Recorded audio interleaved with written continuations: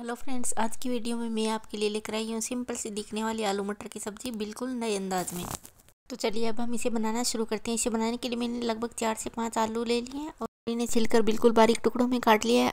अब हम आलूओं को एक बाउल में डालकर थोड़ा सा नमक डालकर अच्छे से वॉश करेंगे तो इनमें एक्स्ट्रा स्टार्च हो निकल जाए। अब हम एक कढ़ाई में लगभग दो से तीन चम्मच सरसों का तेल लेंगे और सारे कटे हुए आलू इसमें डाल देंगे। आलूओं को डालने के बाद हम इसमें अच्छे से फ्राई करेंगे। आलू मटर की सब्ज़ी में आलूओं को फ्राई करके डालने से इनका टेस्ट बहुत अच्छा आता है।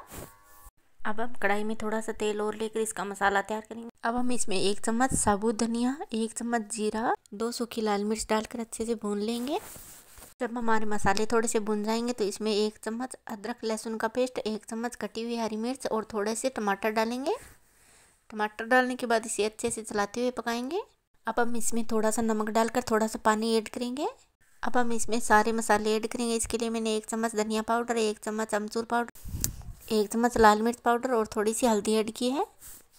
सभी मसाले ऐड करने के बाद हम इन्हें अच्छे से मिक्स करेंगे और लगभग एक कप पानी और डालेंगे। यहाँ मुझे नमक थोड़ा कम लग रहा है तो थोड़ा सा नमक और डाल रही हूँ।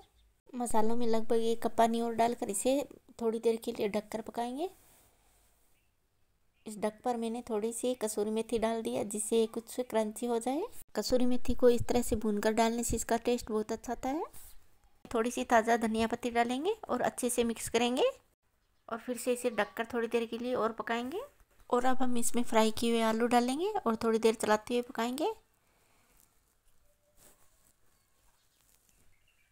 अंत में हम इसमें मटर डालेंगे। मटर को भी मैंने फ्राई कर लिया था। आप इसे ऐसे ही डाल सकती हो, पर फ्राई करने से ये बहुत टेस्टी लगती है। थोड़ी सी धनिया पत्ती डालकर इसे गार्निश करेंगे।